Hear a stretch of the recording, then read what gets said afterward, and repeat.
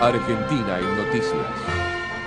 La presidenta saludó a Dilma Rousseff por su victoria electoral. Querida compañera y amiga, felicitaciones por el triunfo. Fue el saludo de Cristina Fernández a través de su cuenta de Twitter, ni bien se confirmó el triunfo de Dilma en la segunda vuelta electoral.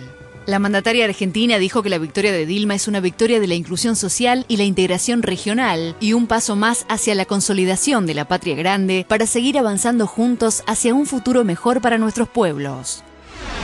El Banco Interamericano de Desarrollo ratificó su programa de financiamiento para la Argentina. El jefe de gabinete, Jorge Capitanich, se reunió con los representantes del banco en Argentina para definir el plan de desembolsos para este año que alcanzará a 1.247 millones de dólares para diversas obras de infraestructura.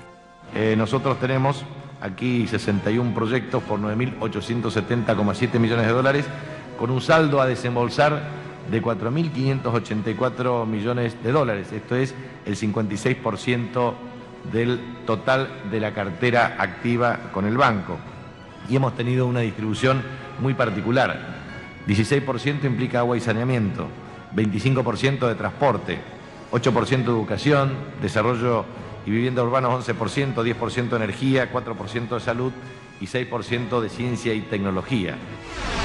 Construirán en San Juan una fábrica de paneles para energía solar. Estará ubicada en el Parque Industrial 9 de Julio con una inversión de 1.500 millones de pesos y por su envergadura será la primera fábrica en su tipo en toda Sudamérica que proveerá de sistemas alternativos de electricidad domiciliaria a todo el país. El gobernador José Luis Gioja afirmó que esta fábrica, que tendrá cuatro líneas de producción en una planta fabril de 300 metros de largo, se inscribe en el Proyecto Nacional de Desarrollo de una nueva matriz energética para la Argentina. Argentina en noticias.